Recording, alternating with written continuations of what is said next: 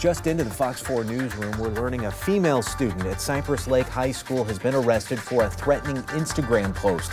That's according to the school's principal. In a message to parents overnight, Angela Roles writes, the girl posted a photo holding what appeared to be a rifle with the caption, I'll show you a school shooting.